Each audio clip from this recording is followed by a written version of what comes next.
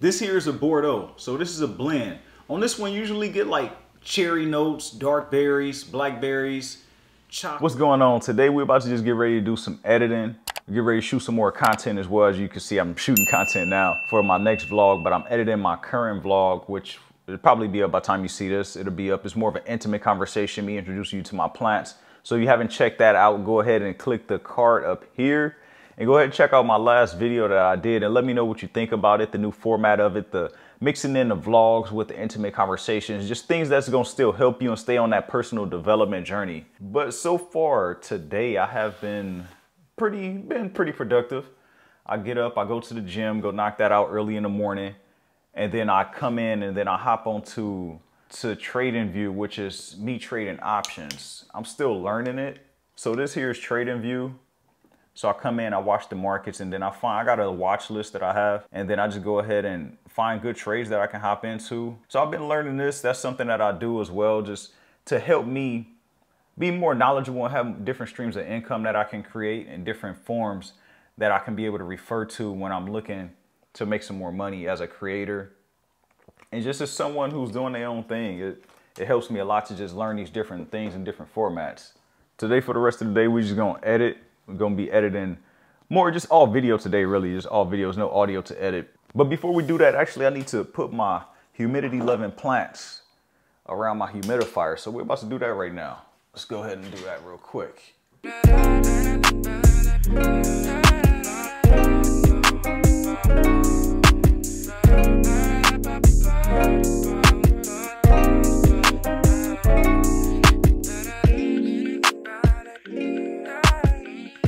Back at the desk right now.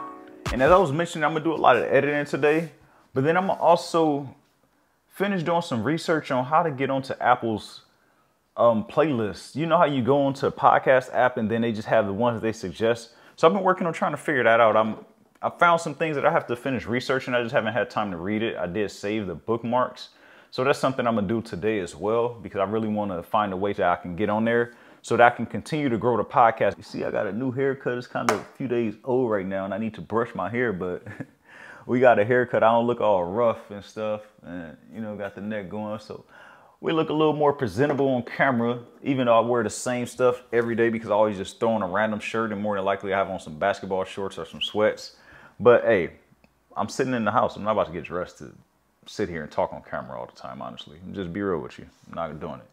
I just wanted to take a moment to say how grateful I am. And I want you to think about how grateful you are too. No matter what's going on in your life right now, there's so much for you to be happy for. There's so many things for us to complain about, but it's even more for us to be happy about because everything that we're gonna complain about is more than likely gonna pass us eventually. And sometimes it gets frustrating and it's much easier for us to complain and say how things aren't going our way, how things getting frustrating, how we're stressed out, how something should be this and that, we can find any excuse. But at the end of the day, we need to be grateful for what it is that we have right now, and that's life. That's life. You're above ground. And me personally, I want to mention that I am so happy that I have the mindset that I do have because I've been presented with so many things that could break the average person. So many things that could that would have broke the old me that I probably wouldn't have been able to survive through. I would have just gave up. So I just want to say I'm very thankful for my mindset, for my journey, for everything that I'm being presented with because I know everything that I'm chasing right now is gonna make sense at the end of the day. Everything that I'm going after is gonna make sense. Is gonna make sense of all the struggles that I'm going through. I wouldn't even say struggles, but you know the moments where you feel like, like, damn, I have to keep on going. Like, why is this happening to me? Why is this happening? Why is this not happening? All of those things that we question, all those things that we keep on saying that's not desirable in our life, and we giving it energy I just want to say I'm thankful for it all. Like I'm very thankful because I know that it's not permanent. It is not permanent. So as you go through your journey, you thinking about something right now, I just want to ask you to show gratitude. Show gratitude to whatever it is that you have in your life currently. And if you can't think of anything, keep it very simple and just say you thankful for life. Because there's so many people that didn't wake up today, so many people that that didn't make it through this week that had plans, that had life ahead of them. They like, you know what? I want to do this with my life. And their life got cut short. I'm getting a little emotional right now because it's true. It's so many people that's not here that didn't think that they that their life would be cut short.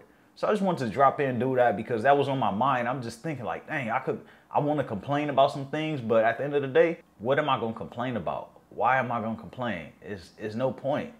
Complaining is not gonna change it at all. So go out there and show that gratefulness. Be grateful for what it is you have. Show gratitude for all the small things. It could be as simple as breathing in the air.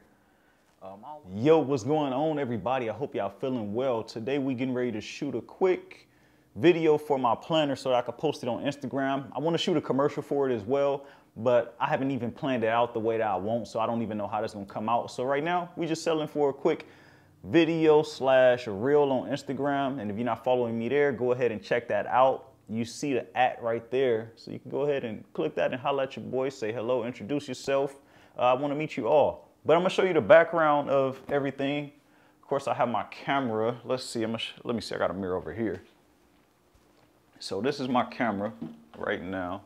So I don't know if you can tell, I got a Canon EOS M50 where the, the screen flips and I can see myself recording. And this is my setup that I did right now. I moved some of my plants around. I got them all set up over here just to set the little aesthetics and get it set up looking nice and presentable. Got my lights right here. I got another plant over here which isn't in the frame, but it's getting some sunlight as you can see it reflecting off of there. But this is my little setup right here with my lights and then the camera that you just saw. Then I'm gonna put my, my phone right here on this, on my ring light. Sometimes you just have to bet on yourself and just do it and work with what you got. Uh, it don't have to be the best. I started out recording on my phone even my podcast, I started out recording that on my uh, on my phone too. I used to sit in the closet to make sure that I had the clothes around me, make sure I had good sound, and I used to plug in my headphones and record my podcast. So I'm telling you, wherever you are on your journey, just start with whatever you have. Doesn't matter how it is, you always gonna get better. Go out there and just start doing it because you're gonna get better as you go along, and you're gonna love the progress, and you're gonna see the difference in it. But uh, that's enough being said. So let's get to shooting this quick video real quick, and um, I'll see y'all in a bit. Can't lie, it's been a rocky road. I've been busy like the chef on windy hills at the Papados.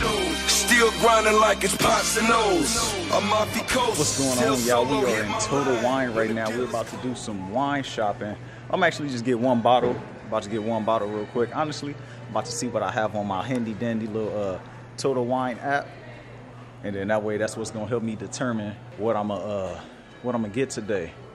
So usually when I drink my wine, I always drink a lot of French wines. I kind of go all over the place. I do Argentina. Actually, I drink everywhere. I wouldn't even just say I drink French wines only.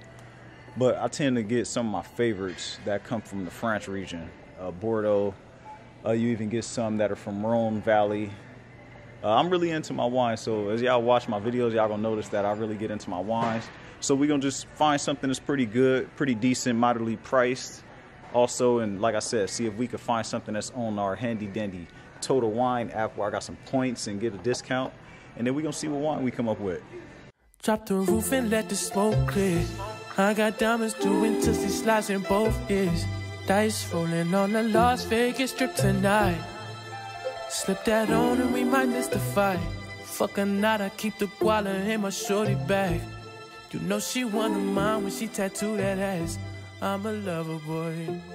All right, so I found one. So this is the grape, but it's not the the vintage that I'm talking about or the vineyard that I'm talking about. But this one is a pretty good red wine. If you want to introduce yourself to something different other than Cabernet or Pinot Noirs. Uh, what's another red one? You got Merlots. That's pretty popular. So try that out. That's pretty good. You can also try out a Bordeaux, as I was mentioning, I, I love Bordeaux. Actually, that's what I might get today. Actually, we're gonna go over to France and we're gonna get probably get a Bordeaux.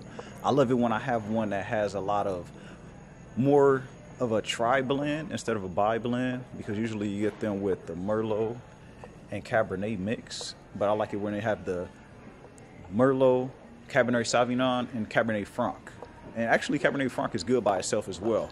So we're about to go ahead and see what we can find right here in the French area. Let's see what we come up with. So this one is a 65% Merlot, 25% Cabernet, 10% Cabernet Franc. So this may be a pretty good candidate. We may go with this one right now. So yeah, we actually gonna go with this. This is a 2020 vintage from Chateau Bellevue. We're gonna get this one a shot and then we're gonna see how it tastes. All right, so we got our wine that we're gonna drink tonight.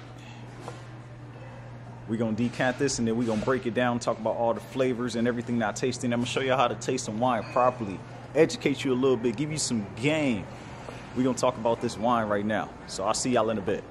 So we at the house, we got our wine here. We're about to go ahead and pour this thing up real quick, get a good sip in. But when you have red wines, you always want to make sure that you decant these wines or at least let them sit out. So I have a couple of decanters. I have a decanter right here. This is more of a little swirly one. You can see the little, you could watch it just go and swirl down the uh, glass. I don't know if you can get the details of that. But you got that one. Then also have this one here. And then you also can use an aerator as well.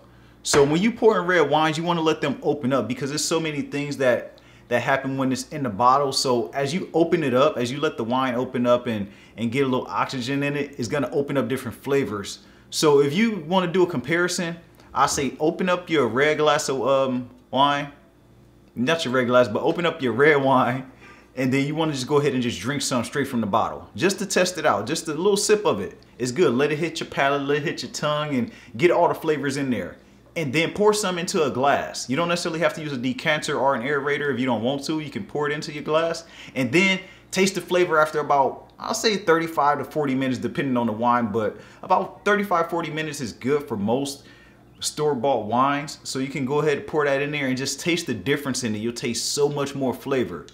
Uh, so that's what I'm gonna do. I'm gonna go ahead and let this decant a little bit. We're gonna pour it into here and then I'll go ahead and uh, go ahead take a shower, change clothes and all that good stuff. By the time I come back, it should be ready for us to drink. That's a vibe. She wanna vibe. That's a vibe. Yeah. Uh. That's a vibe. It's a vibe. And that's a vibe. Yeah. Uh, yeah. Uh, that's a vibe. Oh, it's a vibe. And that's a vibe. Yeah. That's a vibe. She wanna vibe that's a vibe, yeah, yeah, yeah. Yeah, that's a vibe. She wanna vibe. All right, y'all, we are back. I done hopped in the shower, winding down for the night. And uh, our wine has decanted. It's been sitting for about 45 minutes or so. So we're gonna go ahead and pour this into here. So when you pour in your wine, you always wanna hold it at the bottle. You don't wanna necessarily hold it at the neck. A lot of people hold it like this. So even when you're pouring from a bottle, you want to hold it from the bottom of it, get the base of it. And you're to go ahead and just pour it in there. I'm not to go over the whole details of choosing the right glass and all that good stuff. That's just more unnecessary details. So like I said, it's to open it up. And I poured a lot, so this is not a tasting sip right here. But you want to pour it a little less so you can swirl it around. Go ahead and smell it, get the aromas in there. This here is a Bordeaux. So this is a blend.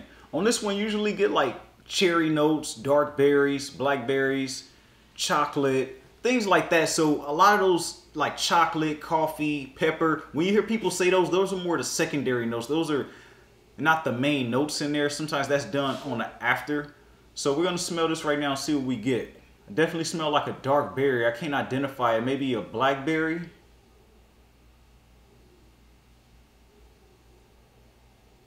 Smell like a currant flavor as well. And some other ones that I can't identify. I'm not about to sit here and lie to you and tell you that I smell every single thing. But when you smell it, you just want to take note of it. Just smell it and let it hit your nose a few times and just open up your uh, your passageways and just take in all the smells. It's to help you with the tasting portion as well. So when you taste your wine, you're to go ahead and swirl it up and then you're to go ahead and take a sip and I like to close my eyes when I take my sip because what happens is it's to enhance my other senses, which is my taste buds. And when you have them all over your tongue, you taste it everywhere when you swish it around. So your front of your tongue, back, middle, everywhere is going to taste something totally different. So that's why you see people swish it around and then a lot of people spit it out because they don't want to actually drink it. They just want to taste it. They're doing taste testings.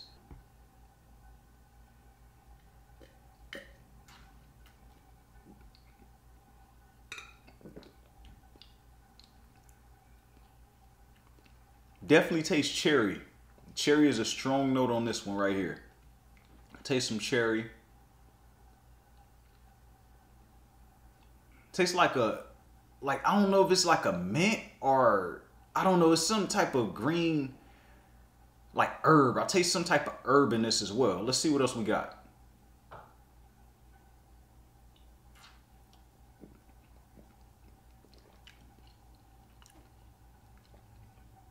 And it also has like a chalky taste to it, which is, you know, it's not too bad. It's kind of common with the wine like this. So those are just a few of the notes that I taste. So when you're doing your taste testings, make sure that you take notes. But I'm gonna go ahead and finish enjoying this glass of wine. And if you ever have any questions about drinking wine, don't hesitate to reach out to me, whether that be on Instagram, whether that be email, however it is. There's so many different ways you can reach me. Go ahead and check all that out down below. And um, I'll see y'all in a little bit.